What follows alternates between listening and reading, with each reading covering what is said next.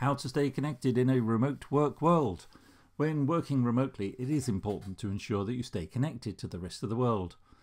You have to find creative ways to engage with co workers or friends and family despite not being around them in person. And additionally, reaching out and connecting to others can be good for your mental health. So keep listening for some helpful ways to stay connected in the remote work world. Communication is key. When it comes to a remote work world, communication can be the key to ensuring that you stay connected to others in your workplace. If you think about it, when you are working in the office, you can typically walk down the hall or look over a cubicle to ask another co worker a question or engage in conversation. When you are at home, of course, you do not have the same luxury. Working remotely doesn't mean that all communication is cut off or limited to the time in virtual meetings. It just means that you have to be done differently.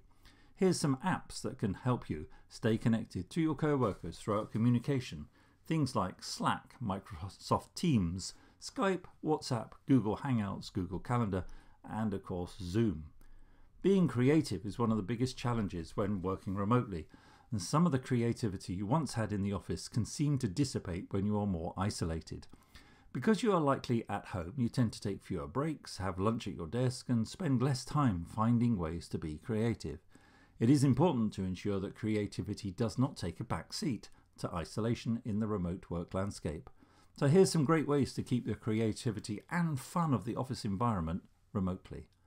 Ask of questions of the day, emails through Slack and other communication tools. There could be monthly company challenges or theme days or even group chats. And then there's collaboration. In many cases, if you're working in person, you would be collaborating with co-workers or many co-workers to complete a specific task. This doesn't have to be the end just because you can't meet the person as you did before. Using tools like Trello, ClickUp, Slack and Zoom can be a way you can continue to collaborate with your team. The apps are also a good way to manage your project in real time so others can also do their part in the task. And some ways to collaborate using these tools, use Trello to enter and move the projects along to the next person. Set up Slack channels to communicate with team members. Have a weekly Zoom call to ensure that everyone is on the same page and appoint a leader of the group to keep track of the various tools.